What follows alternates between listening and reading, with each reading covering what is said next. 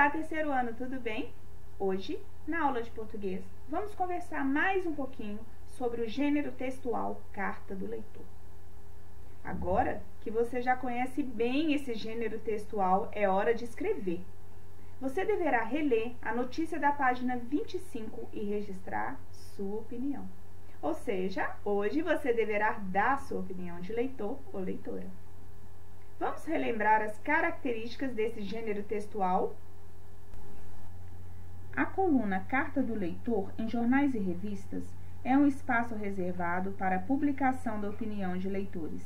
É uma maneira de o leitor fazer perguntas, expressar opiniões, gerar debates, elogiar, fazer sugestões e até criticar um fato notificado.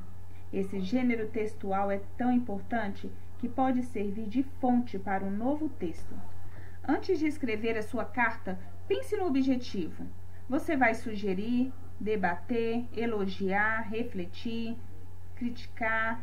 Escreva com muita atenção e revise o seu texto. Lembre-se de colocar todas as informações. Primeiro, a cidade e a data, dia, mês, ano.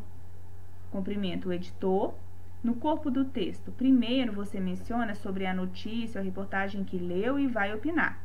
O título da notícia, data de publicação e sua opinião. E também pode dar uma sugestão de reportagem para o editor saber que tipo de reportagem te agrada. Despede, escreve o seu nome, pode colocar a sua idade também. Tudo pronto?